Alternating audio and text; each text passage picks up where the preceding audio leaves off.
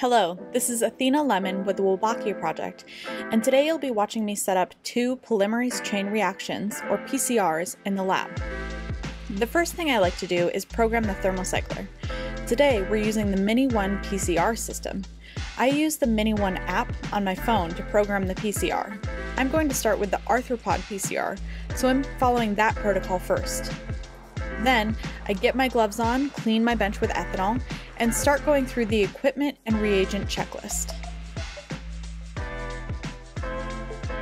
It's important to make sure all the reagents are thawed and mixed. It's good practice to invert your tubes before you start, like I'm doing with this Taq Master Mix.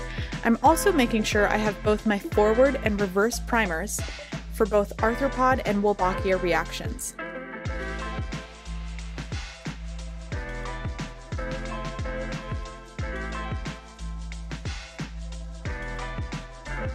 I tip my tubes out onto the bench instead of reaching my hand in for the tubes.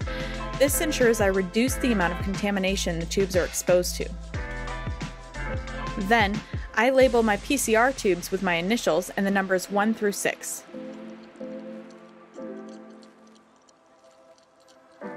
Because we want to make sure all the liquid is out of the cap and the reagents we are using are homogenized, I quick spin all my DNA and reagents before using them.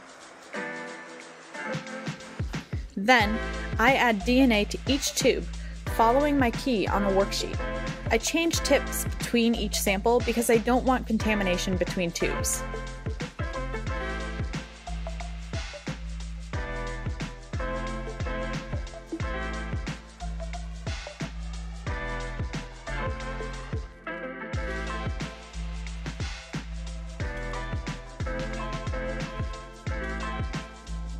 Now I'll start making the PCR cocktail. I'm setting up the arthropod PCR, so I'm only adding arthropod primers. After I add each component, I cross it off on the worksheet.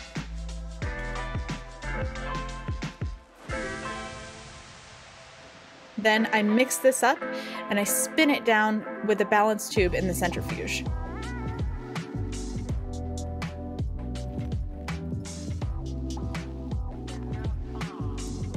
I'm going to set up my PCR reactions by adding my PCR cocktail to each PCR tube. Each tube already has DNA in it, and I don't want to cross contaminate anything, so I'm careful to change tips between each tube.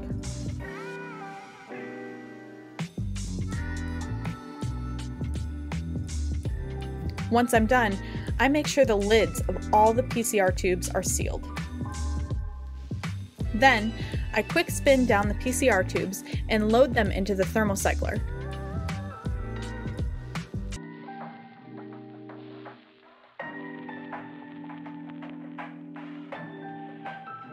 I use my phone to start the program and ensure that it's going.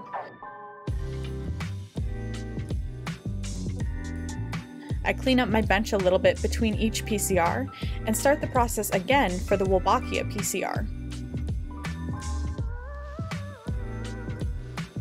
We're doing exactly the same thing, but with a different primer set and a different PCR program.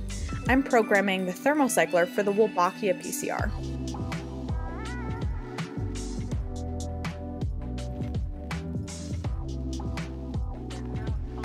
I've put away my arthropod primers and now I only have my Wolbachia primers out. In the arthropod PCR, we labeled our tubes 1 through 6. To make sure we don't mix up our tubes, I'll label these 7 through 12. I add DNA to each of my tubes, following the key on my worksheet, again remembering to change tips between each tube. And now I'm going to start making the PCR cocktail. You can see me add each primer, water, and the Taq Master Mix.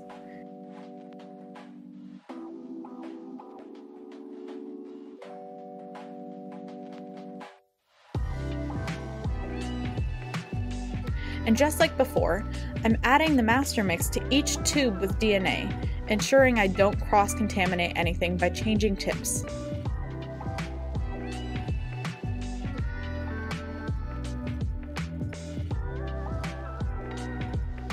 Now, I'm ready to load and start the thermal cycler. Once I do that, I can clean my bench and monitor the PCR cycle.